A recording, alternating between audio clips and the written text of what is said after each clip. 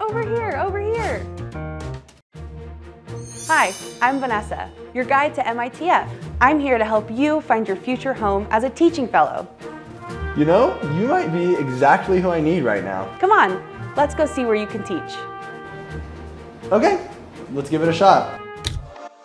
You're choosing Kiryat Gat because you're seeking a mixture of technology, science, and social innovation.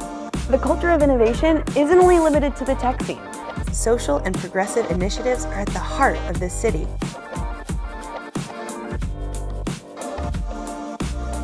Even as a small city, the impact made here is making waves throughout the whole country. You're choosing Mitzpe Ramon because you're searching for an adventure amongst a community of other adventurers. The town of Ramon acts as a looking glass for the typical tourist during a weekend trip, but our MITF fellows will find themselves as a part of the story. When you're standing here on the edge of the Mitzpe Ramon crater, you will not only inspire you to think about your future, your work in Mitzpe will prove you had a hand in shaping the next generation of Israel.